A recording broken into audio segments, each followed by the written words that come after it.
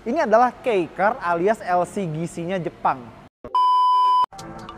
Empat hari yang lalu saya melihat channel favorit saya ya yang sering saya tonton yaitu Auto Netsmack. Di situ ada berjudul Suzuki Wagon R 2022 ya.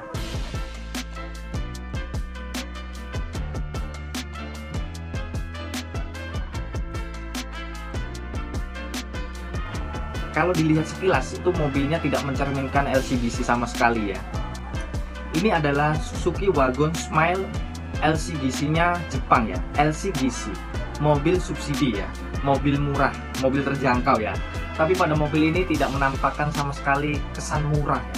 Malah kalau di sini itu spek dewa. Beneran mobil ini itu bagus banget, fiturnya banyak banget. Nggak tahu ya kenapa ini LCGC di Jepang.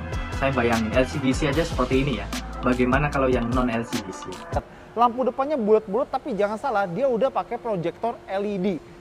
Nah ini dari segi lampu depan ya LCGC di Jepang ini sudah proyektor loh bro. Kita masih dikasih halogen. Terus di sini ada kamera. Di depan bumper ada kamera depan.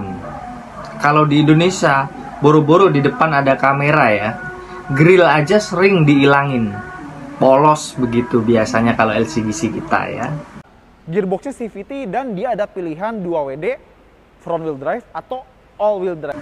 Ini yang membuat saya bingung ya LCGC tapi kok seperti ini begitu loh. Dia ada dua pilihan yaitu penggerak roda depan dan four wheel drive atau semua penggerak roda ya LCGC dapat hybrid di sana.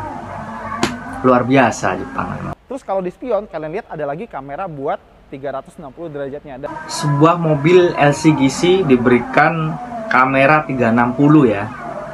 Kalau di Indonesia ini adalah spek-spek tinggi ya, mobil-mobil 200 jutaan ke atas atau bisa jadi mobil 300 juta baru ada kamera 360. Kalau di kita boro-boro kamera 360 ya sepion aja nggak dicat warna body. Dan dia ada smart entry di pintunya. Sudah dilengkapi dengan smart entry ya.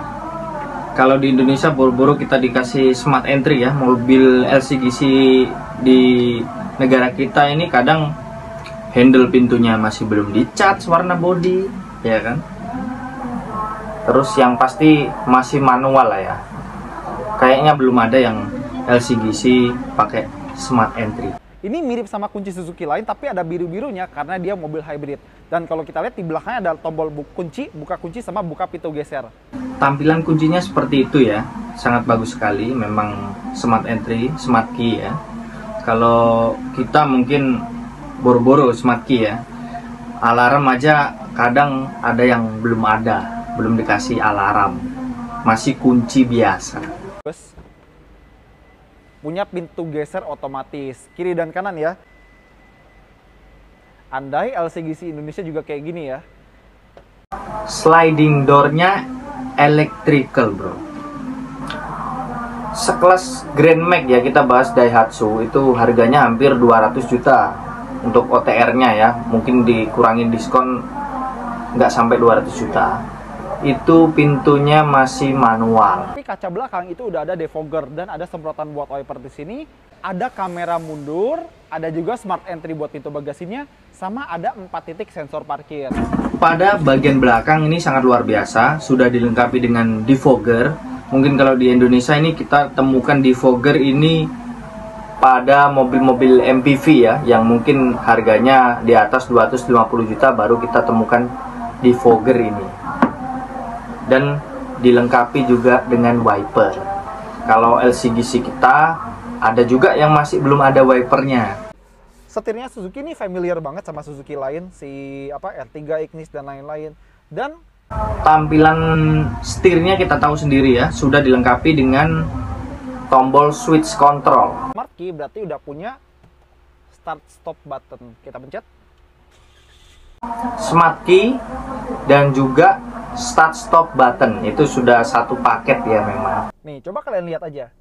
Nih, tuh info-info kayak bensin aja tuh bahasa Jepang. Dan hampir semua info di sini bahasa Jepang. Yang bahasa Inggris cuma ini nih. MID-nya bisa kita lihat sendiri ya, sangat elegan sekali, nggak mencerminkan LCGC atau mobil subsidi sama sekali ya. Kalau di sini mungkin mobil mobil mahal ini, Mas. Mobil ini udah punya head up display di sebelah sini. Lumayan canggih ya. Dilengkapi dengan head up display. Ini sangat jarang sekali ya, bahkan di Indonesia itu mobil 300 jutaan juga masih belum ada seperti ini. AC, uh, dia udah auto climate control. AC-nya sudah digital, so pasti sudah digital. Belum lagi kamera yang ada di depan ini ya. Jadi total semua kamera adalah 4 dan fitur-fitur safety lainnya ya. Sudah kehabisan kata-kata saya. Sekian video dari buku otomotif kali ini ya. Video kali ini bukan bermaksud apa-apa, cuman kita membandingkan aja mobil LCGC di Jepang dan mobil LCGC di negara kita ya. Saya nggak tahu ya, begitu masuk di negara kita di Indonesia, fiturnya banyak sekali nih yang diprotolin. Entah kenapa, mungkin untungnya mungkin biar bisa gedean dikit mungkin ya.